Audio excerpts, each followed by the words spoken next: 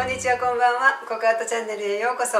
今日は20周年のチャイルドストーリーからちょっとしたブースをご紹介したいと思います。作品であって作品でないようなそんなブースがあるんですけれども私のアトリエ再現ということで最初は外のウィンドウの方に普段使っている画材とか書きかけの作品スケッチとかをご紹介しようかなって思っていたんですけれどもちょっとウィンドウの方はやっぱりキャッチーにしたいということで通りがかりのお客さんにインパクトを与えたいなっていうのがありましてやはり作品を飾りたいということになったんですね。ということでアトリエとか画材を紹介するブースは中にしようということでそのウィンドウのちょうど裏側になるんですけれどもその映像を今からご覧いただきたいと思いますそれではこれが20周年のチャイルドストーリーの会場内で展示している私の画材とかスケッチとか書きかけの作品のブースです。ご覧ください。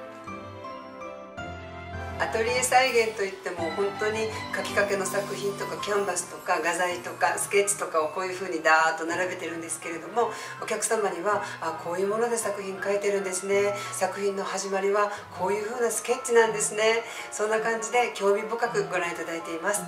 私にとったらこれが日常なんですけれどもいつも出来上がった作品をご覧いただいている皆さんにとったら生まれる前の作品が意外な感じで捉えられてるんだなってそんな思いをしながら皆さんのご感想をお聞きします。した。会場には皆さんに作品のご感想とか展覧会のご感想を書いていただくノートをご用意していたりアンケートを用意したりしてるんですけれどもそこにもこれらのアトリエ再現のことに関してのご感想をいただきました。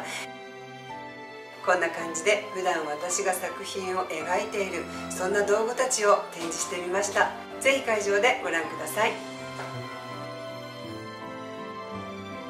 はいということで今日もちょっと短い動画になりましたけれども20周年のチャイルドストーリーの会場内で私が普段使っている画材とかスケッチドローイング書きかけの作品を展示しているブースをご紹介しました。いかがだったでしょうか？今日も最後までご覧いただきありがとうございました。それではまた。ココアートチャンネル。古典会場からの動画はいかがだったでしょうか？よろしければチャンネル登録もお願いします。私のプロフィール画像はココアとチャンネル。上の赤いウサギはメインチャンネルのチャンネル登録ボタンです。よろしければどちらもお願いいたします。それではまた次の動画でお会いします。ありがとうございました。